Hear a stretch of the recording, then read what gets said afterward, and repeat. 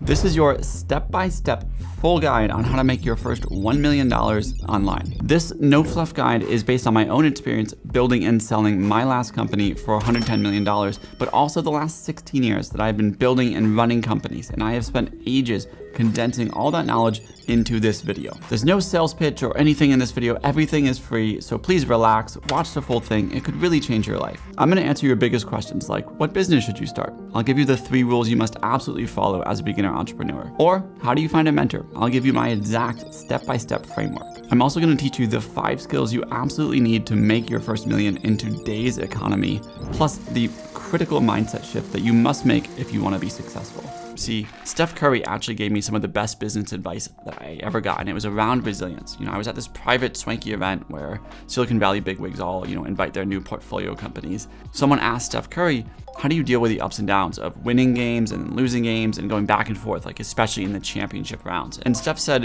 you know, no one goes the entire season without losing a game. It just doesn't happen. You're gonna win some games, you're gonna lose some games. When you lose games, it's not a sign that you are off the off the path, that you're doing something wrong. It's just a sign of the journey that you're on. You're gonna go up and you're gonna go down. That's part of the journey of being a championship team. The same thing applies to you. As you're going out on your entrepreneurship journey, as you're setting out to make your first million, it's not gonna be smooth sailing. You're gonna go up and you're gonna go down. What I want you to do in those moments is remind yourself, hey, this is the journey that I signed up on. These low moments that you're experiencing are not signs that something is going wrong. It's signs that you're on the right path. There is no one in history that has become successful without going through these ups and down journeys. But what happens is if you haven't experienced that, you feel good when you're on the high moments, but when you go to the low moments, you start to think this is not working, something's not right. And in reality, it's just a sign of the journey. So build in the power of resilience. Understand these ups and downs are part of the journey. But there's still one more mindset shift and that is the mindset of sacrifice. Everybody now talks about work life balance and follow your passions and blah, blah, blah, blah. Those people actually probably aren't successful or they've become so successful that they forget what it was like in the early days. When you are starting out, you need to be willing to grind. You need to be willing to sacrifice certain things in your life so that you can have things in the future. You know, when I was starting my first business, I was just entering college. And, you know, college is this time of parties and fun and girls. And not for me.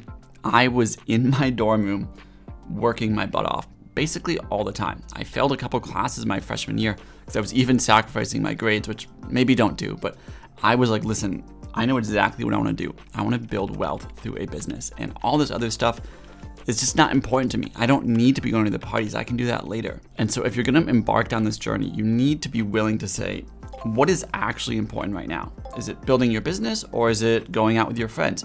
Is it building your business or is it binging Netflix? There are times when you can take a break, but generally in the early years, you should be sacrificing most of the instant gratifications that life wants to tempt you with in order to delay gratification for a much larger reward. Now, with that mindset shift, you need to actually start taking action. And this is where the education versus experience paradigm comes into play. You see, when you're a beginner entrepreneur, it feels like you don't know anything. And all you want to do is just learn, learn, learn. What you're actually trying to do is fill that sense of fear, that fear of failure by learning. And listen, as a beginner, you need to learn. You have so much that you need to learn, but you can only learn so much. What you really need is experience, not education. It's like that saying, you can't learn to ride a bike at a seminar. You can read all the books, you can understand how gravity works and how momentum works and things like that, but until you get on that bike, you do not actually know how to ride the bike. It's the only way you're gonna learn. The same thing applies to business. If you want to be successful, if you want to become a successful entrepreneur, you have to get into the field. You have to start playing. And so I really want to caution you, do not spend too much time in the education phase where you're just teaching yourself and not actually taking action. And in fact, to make that super simple, here are the only five skills that you need to learn if you want to make your first million dollars online. Something I took from Alex Hormozi that I love is not knowing how to make a billion dollars a year costs you a billion dollars every year. Well, the same thing applies here. Not knowing how to make your first million is literally costing you a million dollars every year. And you have to understand the only reason you don't have a million dollars is simply because you don't know how to earn it. It's not a lack of time, it's not because of your childhood or your parents, it's not because you're too busy.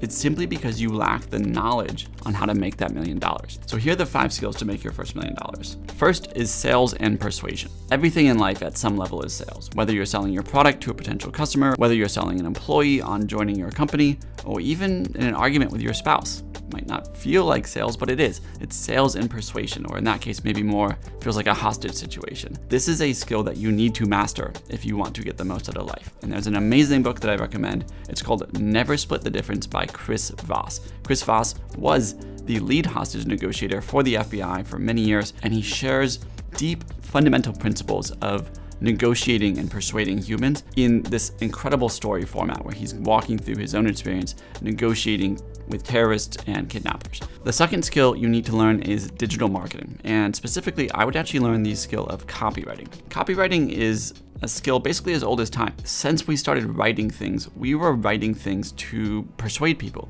to convince them to do things, to take action. Copywriting really took off in the 1900s when people were making these massive billboard ads, and this is, you know, the era of Mad Men and things like that. They had to figure out how can we write 5, 10, 20 words that can produce hundreds of millions of dollars of sales. And this is where copywriting became an art form. So given that we're making money online, we need to learn the art of taking those sales and persuasion skills that we learned and putting them pen to paper. And to do that, the best book that I found is Copywriting Secrets by Jim Edwards. It's actually a pretty recent book, but it's a very practical how-to guide on how to learn copywriting and how to actually use it to make money. The next skill you wanna learn is cold outbound outreach. Cold outbound outreach simply means that you are trying to reach prospects that you want to sell things to, that you want to either sell your product or get to sign up for a beta, whatever.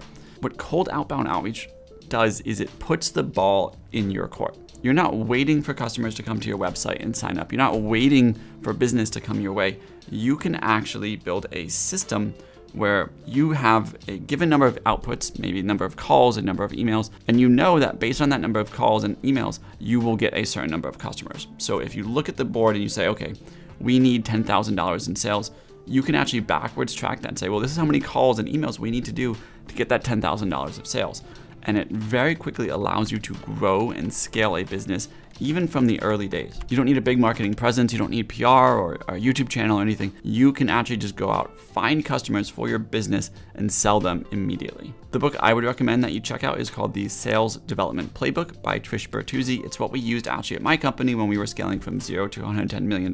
It's a super awesome book. Go check it out. The fourth skill you wanna learn is product thinking. Now, product thinking is a bit of an ambiguous term. What it basically means is you need to learn the art of actually understanding what someone wants in a product, in a service, in a business, and how to build a product that matches their desires. You see, most people think the journey of the entrepreneur is this sort of Steve Jobs-esque thing where you sit on a whiteboard, imagine these amazing futures and this visionary product, and then you go to market, you announce it on stage, and everyone goes wild. That works if you're Steve Jobs, but I'm not Steve Jobs, mm, you're probably not Steve Jobs too. Rather than trying to be this creative visionary that is such a such a high bar, all you need to do is learn to talk to people get them to tell you what they want, and then go build it, and they'll buy it from you. It sounds simple because it is.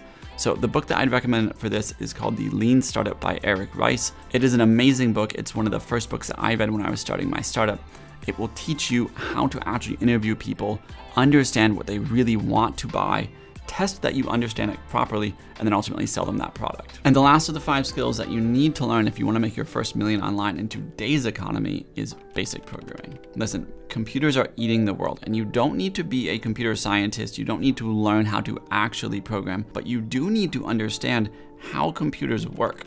How does code actually work? How does it produce the results that we see on screens, on phones, etc.? If you don't understand this, you simply are not able to compete in today's digital economy. So to build this basic understanding where you're not actually programming anything, but you can speak to programmers, you can understand the way programmers think and help direct them to build products for you and ultimately build a business, the level of skill that you want to get to is called pseudocoding. Pseudocoding is basically you can whiteboard out an idea for a product and how the computer might build that product or how it might deliver that product, but you're not actually writing the actual code.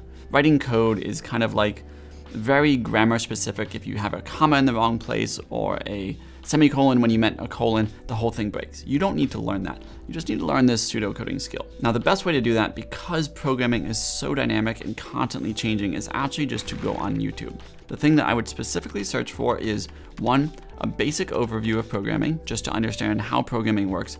And then I'd want to learn how to write what's called a hello world program in a few languages, probably HTML, CSS, JavaScript. If you can kind of figure out how to build some hello world style projects in those three, it's not going to change your life. You're not going to become this amazing programmer, but you will understand enough about programming to actually build amazing products with developers. And this is something you should learn even if you're not trying to ship a software business, because ultimately, if you're making a million dollars in today's economy, you're doing it in a digital age. It's just the way it's played. So learn basic programming. Now, one of the skills I did not mention here that I just want to touch on is the skill of investing. See, everybody starting out wants to learn, how do I invest $10? How do I invest my first $1,000 and turn it into a million dollars? Listen, turning $1,000 into a million dollars is essentially playing the lottery. You're probably almost better off just literally buying lottery tickets than trying to invest your $1,000 to turn it into a million dollars. It's just a pipe dream, something that people would be happy to sell you courses on, but it's not actually grounded in reality. The investment that you should be thinking about right now is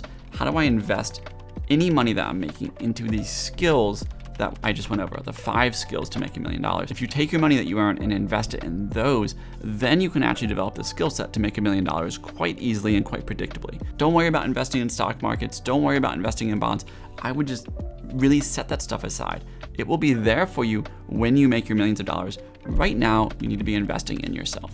Now, with these skills in your tool belt, it's time to make two critical decisions. The first is what is your superpower going to be? You see, no one becomes successful by being a jack of all trades. You cannot learn all of these skills equally. You know, if you look at all the great entrepreneurs, Jeff Bezos, was he programming Amazon? No, he was building the business side of it. Look at Steve Jobs. He wasn't programming the early Apples, he was designing the products and coming up with the ideas. If you want to be successful, you need to build this sort of foundational level of the five skills that I talked about, and then you need to go deep on one or two. And this is where you need to actually look inward and say, what do I love doing? What do I gravitate towards? And to make that decision easy for you, I would say there's basically two choices that you have.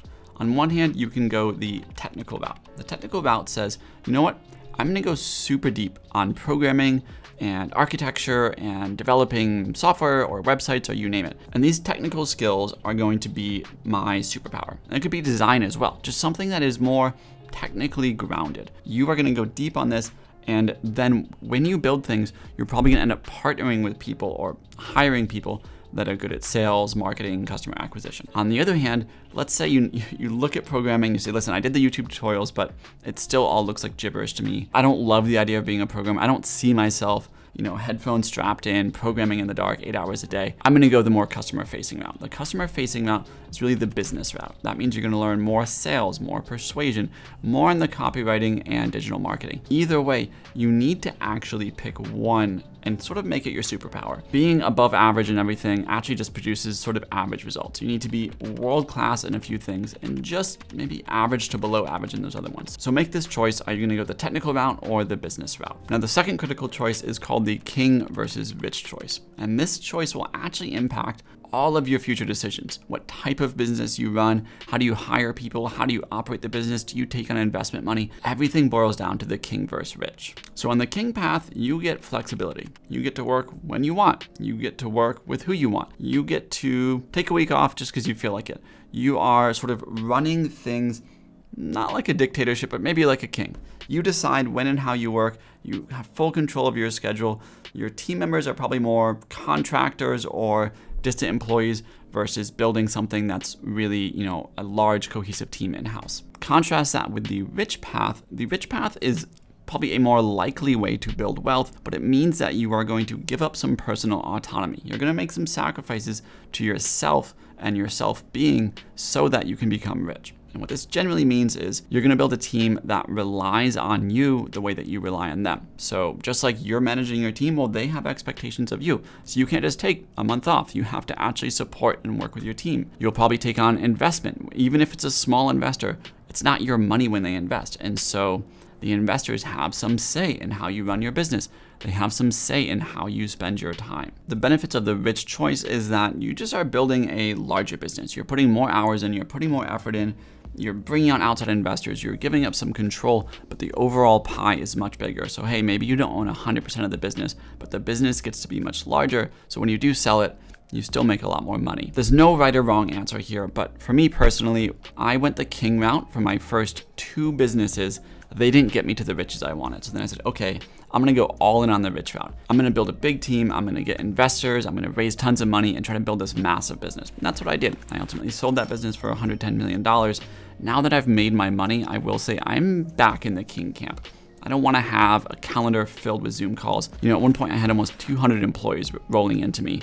And that means that there's 200 things that could be going on at any given day. I don't want that anymore. I just want a simple, chill life make YouTube videos like this and have fun. There's no right or wrong way here, but it's something that you need to decide relatively early on because it will dictate kind of how you build this thing. Now, let's talk about the journey, how you actually build your first business. You see, everyone wants to know, how do I choose a business idea? How do I choose the right business model? Choosing a business model is one of the most critical decisions you will make. It will dictate so much of your success in the future. There are basically three fundamental business models. So I'm gonna go over each one and break down how easy it is to get started, how much risk you personally need to take on to get going, how hard it is to actually run once it's up and operational, and finally, what is the likelihood that it will actually get you to your million dollar goal? Spoiler alert, I think there's one clear winner, but I'll let you be the judge. So the first is selling physical products. This is e-commerce, this is drop shipping, this is where you're actually delivering something to a customer. As for how hard it is to get going on this, I would give it a three out of five. The reason being is you need to set up an online store, that's the easy part,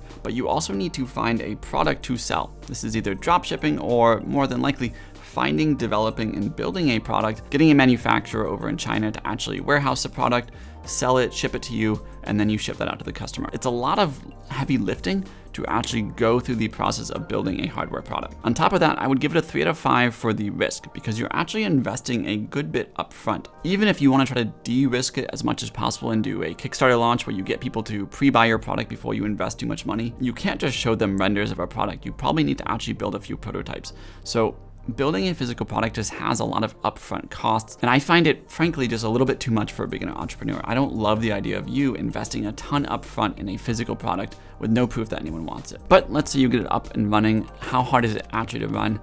I would actually put it as a beginner entrepreneur a five out of five. And I know the e-commerce guys will go crazy over me for this, but listen, e-commerce is a thin margin business. You're often operating at 20, 30% margins.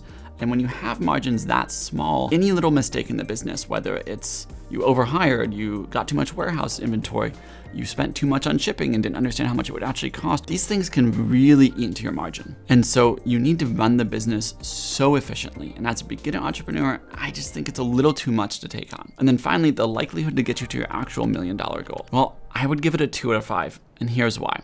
If you look at e-commerce retail businesses and how much they actually make when they sell, you can see what's called a revenue multiple. How much are they doing in sales relative to how much are they worth? And unfortunately, the comps for e-commerce businesses are just not that good. Generally speaking, what you find is that you would need $1.5 million a year in sales to sell your business for a million dollars. So you have to build up a good bit of sales to even get to that $1 million mark. The second one, that one that you'll see online a lot, certainly Iman Gadzhi has made it really popular, is starting a service business. Now, service businesses are super, super easy to set up. All you need is really a website and an email address, and you can start selling a service. So on the how hard is it to get going, I would say it's kind of a one out of five. It's pretty easy to get a service business up and running, at least started. Now, how risky is it? Again, I would give service businesses a one out of five. They're just inherently not that risky. You're not building warehouse inventory. You're not really investing in a product. You're just going out to the world and saying, hey, I want to give you this service. Here's an hourly rate or here's a fixed fee. What do you think? So it's very easy to start and very low risk, but how easy is it to run? Well, this is where it gets a little more hard. I would say it's a four out of five. It's not quite the level of difficulty as say an e-commerce business, simply because an e-commerce business has so much more physical products and warehouses. Running a service business means running a team, and it means running a quite large team, because ultimately Either you're selling your own time, which means you only have so many hours in the week, or you're selling other people's time. You have employees, you have contractors, and you're going out getting contracts saying, hey, we'll do your website, we'll do your YouTube videos, but behind the scenes, we have a team that's fulfilling those needs. And whenever your business scales solely by adding manpower, you it's a very hard business to scale. You just have to add more and more people to make more and more revenue. So it's not an inherently easy business to scale, not an inherently easy business to run. But where service businesses really fall flat is the actual likelihood to get you to your $1 million goal. I would unfortunately give it a one out of five. And this is because service businesses have a very low revenue multiple on exit. You know, just looking at market comps, we can see what do service businesses sell for today? And the range is roughly 40 to 80% of total revenue. So for simple math, let's just call it 50%. What that basically means is that you would need to get your service business to $2 million a year in revenue if you want to sell that business for $1 million. And the logistical challenges to actually build a service business at $2 million a year are quite high because of this manpower scaling issue. So the third business model, and what I would consider is the actually best business model, is what I call selling digital products. And this could be software, this could be a course, this could be a community, selling something that scales digitally. And specifically, the way that I'm going to be evaluating it is a business that sells something digital that has a recurring revenue. Basically meaning that someone pays for something monthly, quarterly, or yearly, but it's not a one-time sale. This recurring revenue is really important. So first, how hard is it to get going? Well, it's a bit of a spectrum. I would split the difference and say it's a three out of five, but certainly selling enterprise SaaS software is harder to get going than selling a basic online course. But you know, even selling the software product, you can often pre-sell the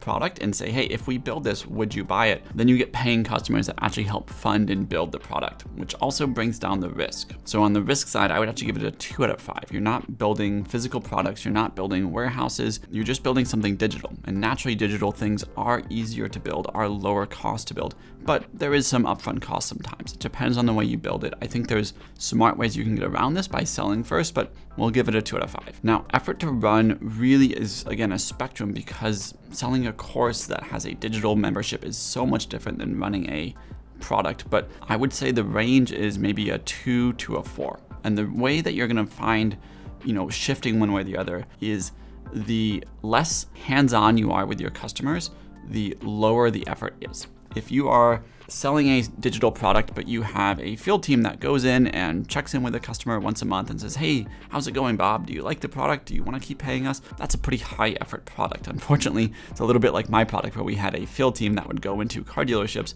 basically every month and say, hey, how's it going? Anything that we can do to make it better. On the flip side, if you were like Squarespace and you just build a website template and people buy it and pay you monthly, pretty low cost, low effort business to run. So I would try to move away from the businesses that require this sort of in-person touch as you're going and really focus more on building a business where you sell something, they pay monthly, but you're not so hands-on running it day to day. But this is where it gets cool. The likelihood to get you to a million dollars. See, the revenue multiple for digital businesses are off the charts. And the reason for this is acquirers want to buy the best types of businesses. Naturally, they will pay more if a business is a better business model. And digital products are by far the best. So you end up with insane exit multiples, anywhere from five times revenue up to 50 times revenue. Now, let's just stick to 10x for the sake of this example, because it's a, sort of a tried and true number that you know works in most economic cycles. If you're running a 10x multiple, if you want to make a million dollar business, all you need to do is get 83 people to pay you $100 a month for your service and that business is worth a million dollars. So, you know, contrast that with a service business where you need $2 million a year in revenue, or an e-commerce business where you're selling $1.5 million, you only need like $100,000 a year in revenue for a software business to be worth a million dollars. So this is why I think, hands down, no question, building a software business is the smartest path to make a million dollars. That said, if you want to sort of tip your toes into entrepreneurship, what I'd recommend is actually start with a service business in the industry that you ultimately want to build a software business in. Learn the ins and outs, learn the customer base, start selling them a service, and then as you build up your entrepreneurial chops and learn the ins and outs of actually building a business, move that business from a service business to a software business. I didn't do it that way. You know, my last business, I just went head in into car dealerships and started building software for them. I think that's probably the fastest path. But if you want to make things maybe a little smoother, a little easier, you can start service and then switch into software. Now, once you have your business model, you need to make the most important decision of all, which is the market that you will be operating in. You see, you can have a great product, great service, but if it's in a market that sucks, it doesn't matter how good you execute, you will not build a great business. So rather than trying to, you know, climb uphill and really work super hard, you want to pick a market that's so ripe, so easy to produce a million dollar business in that it's like it pulls you like a magnet. You can screw up, you can make all sorts of mistakes, and you can still make your million dollars. So the way you do that, I have a very simple three-step framework. First, you want to look at large markets. And by large market, I mean what you want to do is look at how much could you sell a product in this market for, whatever your idea is, times the number of customers in your market that could buy it. So here's an example from my own business. We could sell our software for about $30,000 a year. And there were 60,000 car dealerships in the US. So you take that $30,000 a year times 60,000, you get $1.8 billion. Your general rule of thumb is you want to be at least a billion dollars, ideally 2 billion plus. The reason for this is you're looking for a massive market where even if you take 1% or 0.1% of it, you can still make well over a million dollars. The second thing you look for is a change, or what I often call a wave of change and desire in the market again, using my own example, for the first time in history actually saying, hey, I wanna buy cars online. And the numbers were like 48% of people wanna buy cars online. So you have this massive change where historically people always wanna go into the dealership, they wanna buy cars in person, but now they wanna buy cars online. It's a wave of change. But that wave is creating a gap, an unmet need, because while 48% of people want to buy cars online, 0% can. So we had a large market with a wave of change, but a massive unmet gap being made. And this is what you wanna look for in any business you choose. If you have one of these, you kind of build an okay business, but if you have all three, you can actually build, honestly, a pretty crappy business and still make a lot of money because you have a market that is so thirsty for what you're building. Now, once you have a business model and a market, it's time to do the fun part. It's time to get some customers. So you can't just sit back and rely it. There's no build it and they will come. That crap doesn't work in today's age. You need to actually actively go out find customers and bring them to you. And if you want to do it well, you need a systematic approach. You can't just be throwing darts at the wall, seeing what works and what doesn't work. This is where those cold outbound skills that I talked about earlier are really going to come into play. So how you do it is there's sort of three basic steps. First is you have some base assumptions about the product that you think people want to buy. You think they have this problem or they have this desire and your product fills that. But until you've actually sold that, those are just assumptions. So you need to actually go out and find those people test, is that assumption actually true? And so using cold outreach, what I would set a target of is 50 emails and 50 calls a day. You're gonna email and call these people and say, listen, I am working on this product. I think it can really change your life. I think it can do the following things for you. Would you be open to chatting about this? I wanna make sure that I'm doing this right. I'd love to get feedback and see if you're interested. And over this process, hopefully what you'll find is either A, people actually do want what you've built. They say, yeah, if you built that, I'd be really interested. Or you'll learn something just as valuable, which is they don't want what you built. They think your idea is not that important to them, it's not that helpful, or they're already using a solution that fills that gap. If that's the case, just go back and say, okay, well, what do you really want? Either way, by doing this volume approach, eventually you'll build a base of people that are interested in buying from you. But there's one more problem they don't trust you. Sure, you may have cold called them, cold emailed them, you've built some rapport, because you're a new business, are they really sure that they can trust you with their needs, with their wants? And so this is where the easiest thing you can do is just offer a money back guarantee. Say, listen, if for whatever reason we do not fulfill our promises, you don't love the product, you don't love what we're doing, just let us know, we'll give you your money back. A money back guarantee is like the best beginner's entrepreneur hack because it removes all of the need for trust the need for certainty, the need to buy from a proven person, and just say, no, if it's a money back guarantee, I can just go into this sort of on blind faith. If it doesn't work out, I get my money back. So I highly, highly recommend add a money back guarantee in your early process as you're getting your first few customers. Now, two things you wanna keep in mind as you're going through this process. First is that failure is the most valuable teacher you can have.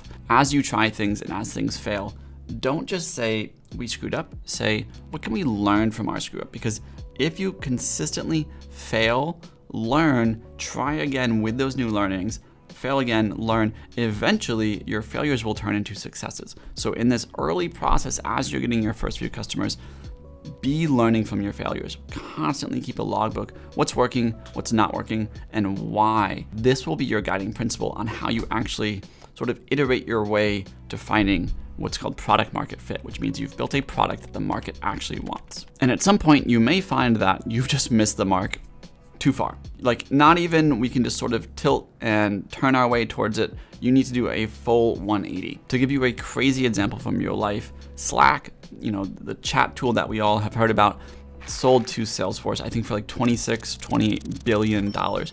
But for the first couple years, Slack was not Slack. It was actually a online gaming company, and they were building this online game that it turns out no one really liked. But what they found along the way is they had built this internal messaging tool for their own team and that thing was pretty cool. And they literally one day said, let's just shut down the gaming company and sell this chat tool that we've been using internally. We like it a lot. Maybe other people will like it too. If you are a dedicated, committed entrepreneur, you will find a way, but don't be afraid to say, we've been exploring just the wrong path entirely. We need to do a full 180 here and explore something new. I would base it on data, not just you feel low, you don't feel great, but there are times when you may need to pivot. Building Prodigy, we had a few hard pivots early on, and those really created the success that we ultimately had. Now, eventually you will start to see some success. You'll start to see some customers come in. You're gonna start to actually build a product.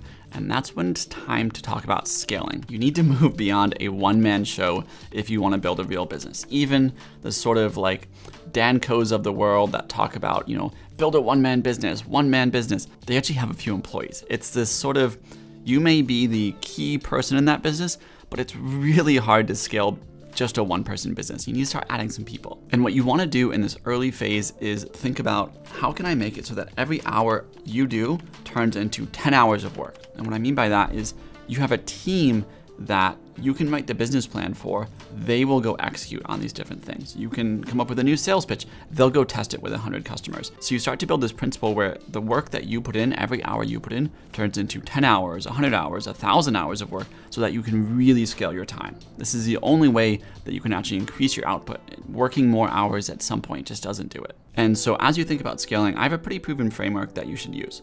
First, when you're hiring like the first one or two employees, you don't want to hire specialists. Let's say you need sales. Don't go hire someone who's only going to focus on sales. The reality is, when you're getting started, you just don't know what you don't know. You don't know the gaps in your business plan. You don't know the gaps in your sales plan. And so your first hire should really be this guy or this gal who's just like, I'm gonna go in, figure this out. If it's not working, I will find a way to make it work. I will chew through brick walls to make this company successful because it matters to me personally. And then what you do with that first hire is you build a lot of documentation. You document what's working, what's not working, and why, and slowly it becomes the way that you run the business. It's well documented. And then as you get the documentation, then you go and hire specialists. So you hire someone who's only gonna focus on cold calling prospects and they run this cold call process that you've documented and built with your first hire. Or when you go to hire an engineer, you have a development pipeline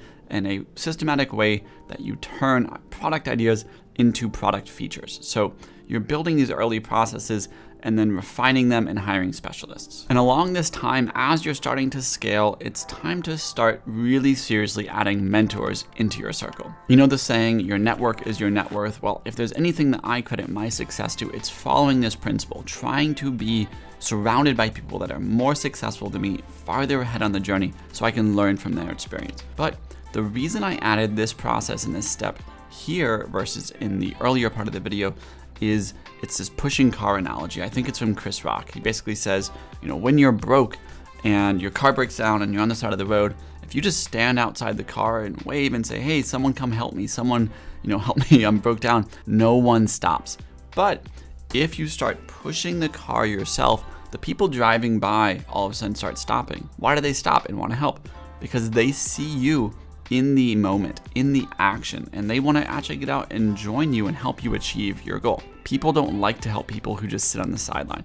So by actually looking for mentors, now that you've started running the business and actually getting things going, you're way more likely to find the mentors of the caliber that you are looking for. And so what you want to actually build is what I call a personal board of directors. This is basically a small set of people that you can go to and rely on for guidance, for feedback, and for just wisdom as you're building this business. I like three. I think three people is just like the right number to get feedback from as you're building. And the way I go about building this is very systematic.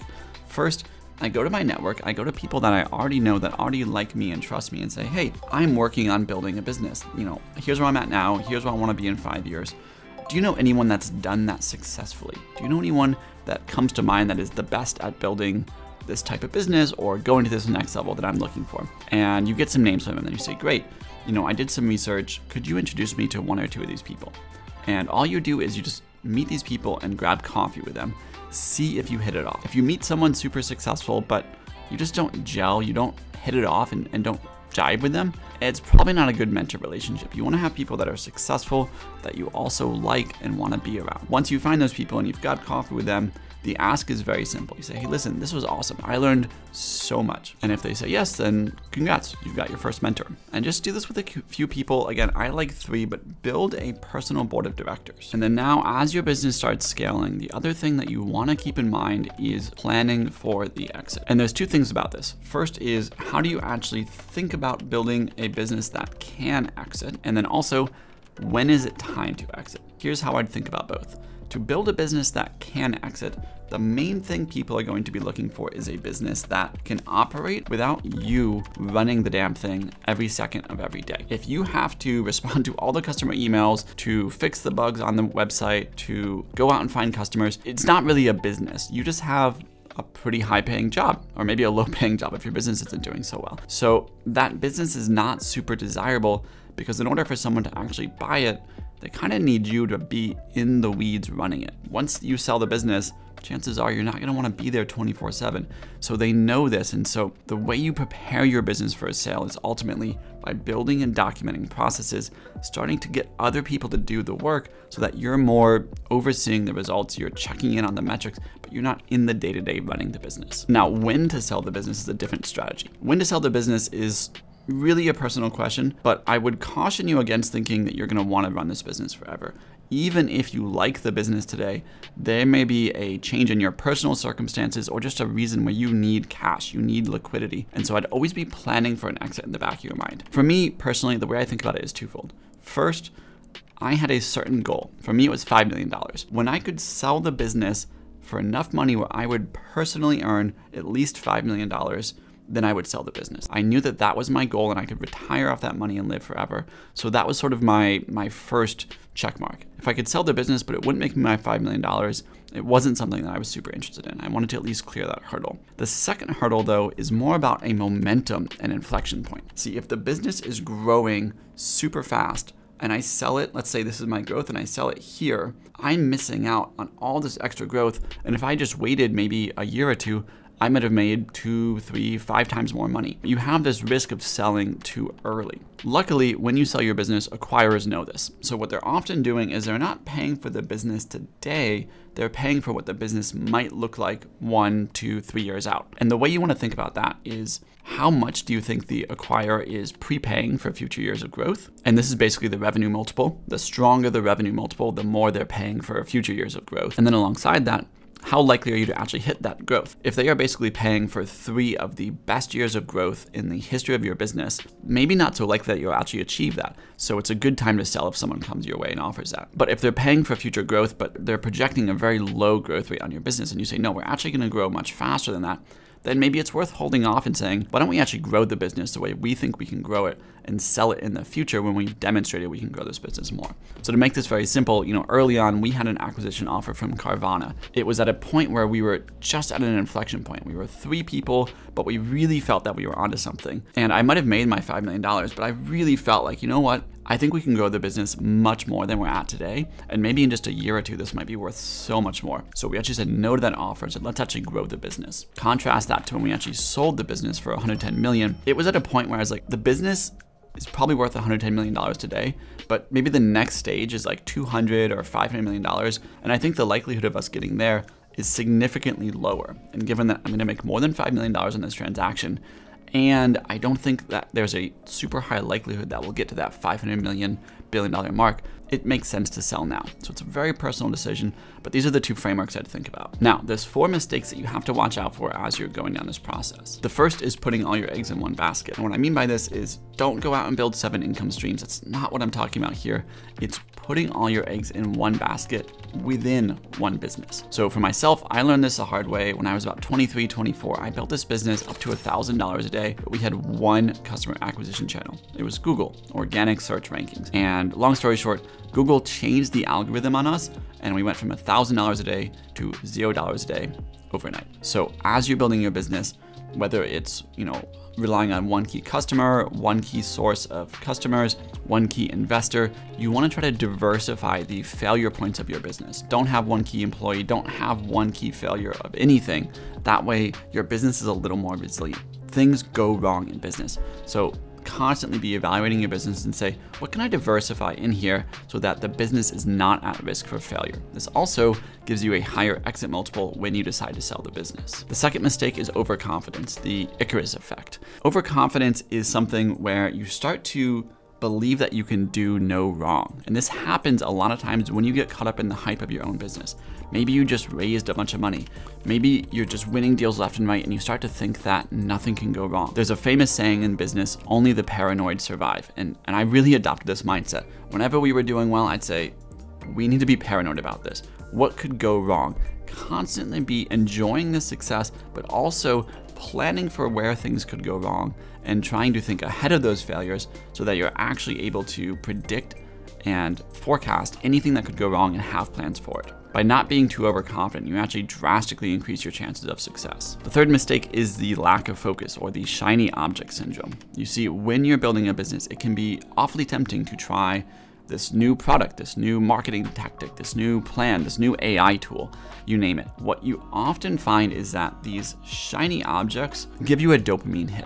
You want to chase them, you want to try them out because it feels good, but it's usually not the thing that changes the business. There's usually not like one silver bullet that really takes you from zero to a million dollars. It's the fundamentals and putting in the reps and putting in the work that actually make things work. When you find that shiny object that is tempting you, what I would do is say, you know what? We're not gonna think about that right now. Put it off for a week and say, let's focus on the fundamentals and work on these.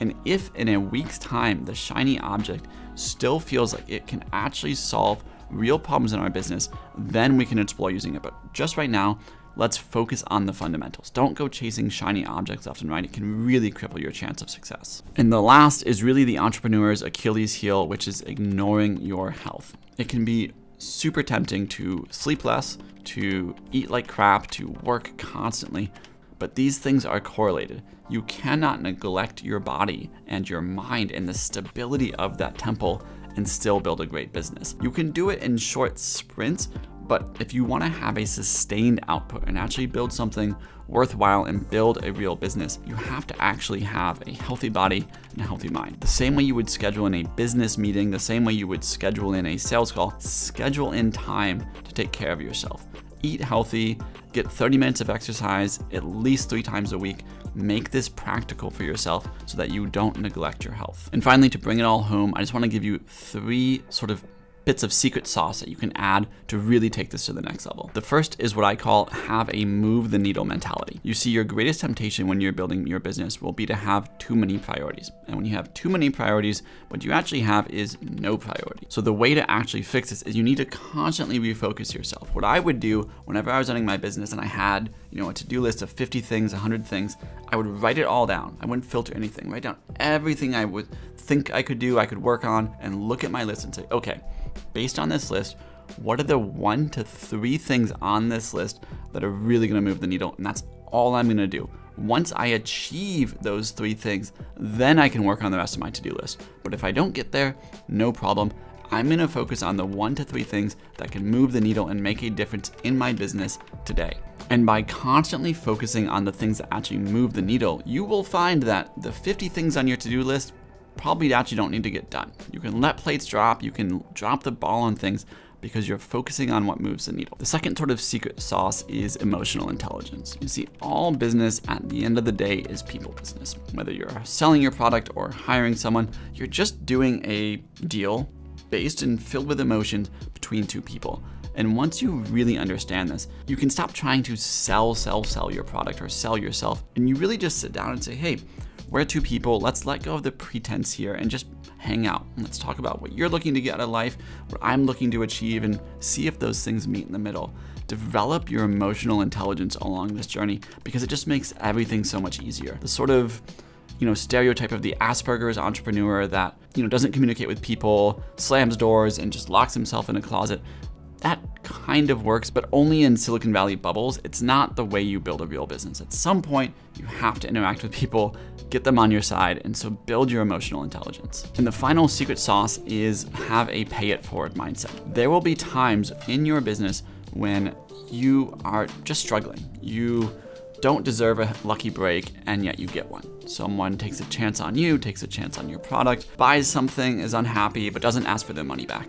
These things happen. I don't know how to explain it. I, you know, call it karma, call it what you will, but there's I truly believe a fundamental law of the universe where if you are generous and kind to others, that kindness and that generosity comes back to you. So in your journey, take time to be generous to people. Give people the benefit of the doubt. Be kind when they can do nothing for you. It's a selfless act, but you could almost think of it as selfish because I am telling you the fundamental laws of the universe mean that this kindness, this generosity will come back to you.